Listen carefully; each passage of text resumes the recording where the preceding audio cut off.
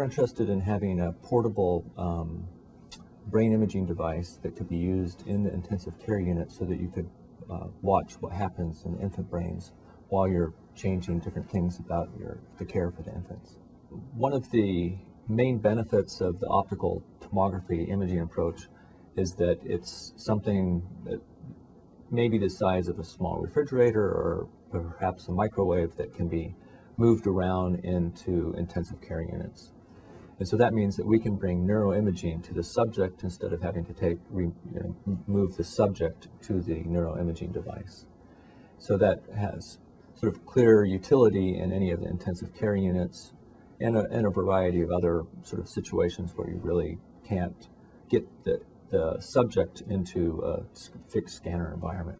Most of the care for infants, um, premature infants, is sort of geared towards making sure that the lungs are okay or other parts of the you know sort of system systems and organs in the body are okay. Um, and when alterations or therapy changes are made, um, it's not always known what's happening in the brain as a result of some of those therapeutic um, interactions. There is a limit to how deep we can image into the brain.